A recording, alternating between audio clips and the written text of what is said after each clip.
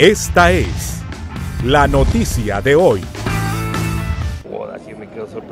Según datos revelados por el director de Casa Alianza, Honduras cuenta con la tasa más alta de homicidios de niños por cada 100.000 habitantes, contabilizando alrededor de 700 menores de edad y jóvenes asesinados en lo que va de 2017. Honduras tiene la tasa más alta de homicidio de niños y niñas por cada 100.000 habitantes, lo, que significa que tenemos una tasa de 32.8 homicidios de niñas por cada 100.000 habitantes, según el informe en deuda con la niñez de la organización Save the Children. Honduras es uno de los países más peligrosos para ser niños. Por otro lado, según el recuento que nosotros hacemos de los medios de comunicación, que es apenas el 40% de lo que sucede en el país, porque los medios no pueden cubrirlo todo, eh, alrededor de unos 700 niños, niñas y jóvenes han sido ya asesinados en lo que va de este año.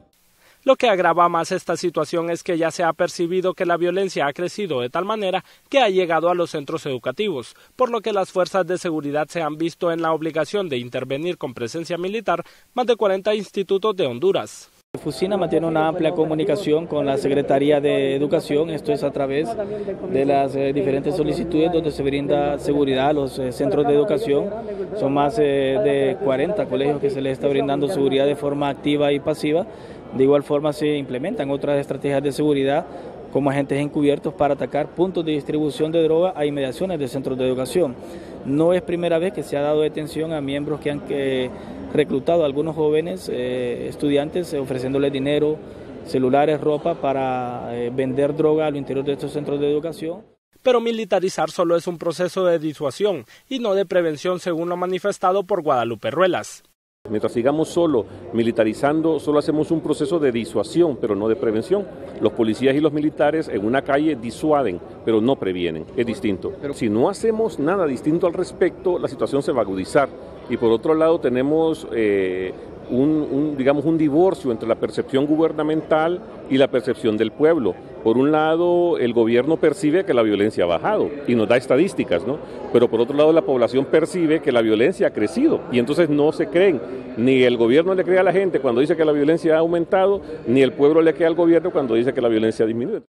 Expertos en seguridad analizan esta situación y establecen que nos encontramos ante un problema vinculado a la desintegración familiar. Hijos que son de la calle, que crecen solos, bajo la imagen y la formación de organizaciones delincuenciales. Entonces, ¿qué podemos esperar en ese sentido? Cuando no hay una formación, una guía familiar y cuando estos jóvenes se pierden en consumo de drogas ahí en las calles. Quienes defienden los derechos humanos hoy exponen que es necesaria una construcción de métodos que incluyan diferentes sectores en materia de prevención, ya que en caso de continuar cada quien con su versión, se continuará con la problemática. Desde Notifides le invitamos a fomentar una cultura de paz. Con imágenes de Ludin Durom les informó Denis Salgado. Esta fue la noticia de hoy.